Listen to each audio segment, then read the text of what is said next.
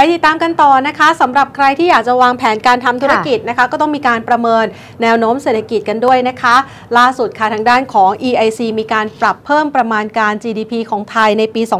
2565 มองว่ามีโอกาสเติบโตได้ที่ระดับ 3%นะคะ ภาคการท่องเที่ยวภาคบริการจะเป็นตัวที่ชูโรงทำให้เศรษฐกิจนั้นฟื้นตัวได้ดีมากยิ่งขึ้นค่ะ ดรทิติมาชูเชิดผู้อำนวยการฝ่ายวิจัยด้านเศรษฐกิจและตลาดการเงิน Economic Intelligence Center เปิดเผยค่ะว่า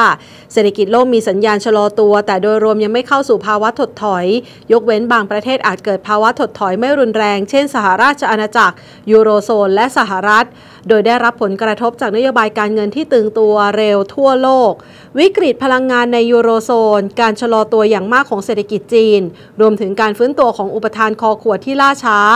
EIC จึงปรับลดประมาณการเศรษฐกิจโลกในปี 2565 ลงจาก 3.2%มาอยู่ที่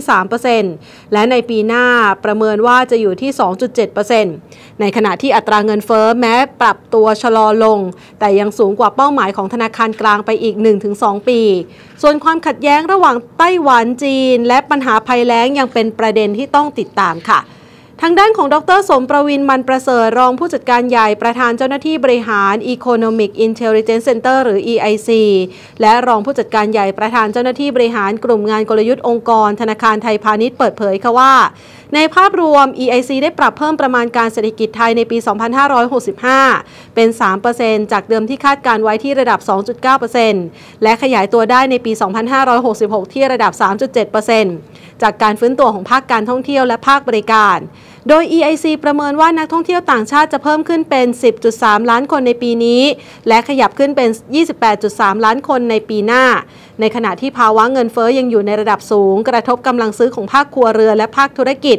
ส่วนการส่งออกและการลงทุนภาคเอกชนนั้น มีแนวโน้มชะลอลงตามทิศทางเศรษฐกิจโลกค่ะ EIC เราคิดว่าเศรษฐกิจไทยเนี่ยก็ยังฟื้นตัวต่อเนื่องนะครับ จากสิ่งที่เราคาดการมาในช่วงไตรมาสที่แล้วเนี่ยวันนี้เนี่ยเราเห็นภาพที่ชัดเจนขึ้นก็คือการส่งออกเนี่ยมีการชะลอตัวลงในขณะที่การท่องเที่ยวนะครับแล้วก็ภาคบริการเนี่ยเป็นแรงขับเคลื่อนสำคัญอของเศรษฐกิจไทย แต่ถามว่าเศรษฐกิจดีไหมผมตอบว่าไม่ดีนะครับใช่ไหมครับเพราะว่าวันนี้เนี่ยถ้าเทียบกับ pre covid เนี่ยเราคิดว่ากลางปีหน้านะมูลค่ากิจกรรมทางเศรษฐกิจถึงจะกลับไปที่ pre covid นะภายใต้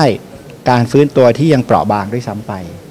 แล้วถ้าถามว่าเมื่อไหร่ที่เศรษฐกิจไทยจะกลับไปที่เทรนด์เดิมนะครับนักเศรษฐศาสตร์เรียกว่าศักยภาพเนี่ยอีก 2 ปีนะ EIC คาดว่ากนง.จะปรับขึ้นอัตราดอกเบี้ยนโยบายอีก 2 ครั้ง ครั้งละ 25 basis point ในเดือนกันยายน และพฤศจิกายน สู่ระดับ 1.25%ณสิ้นปีนี้ และจะปรับขึ้นอัตราดอกเบี้ยนโยบายอีก 3 ครั้ง ครั้งละ 25 basis point สู่ระดับ 2%ณสิ้นปีหน้า ในขณะที่เงินบาทจะแข็งค่าลงมาอยู่ที่ 35-36 บาทต่อดอลลาร์สหรัฐณสิ้นปีนี้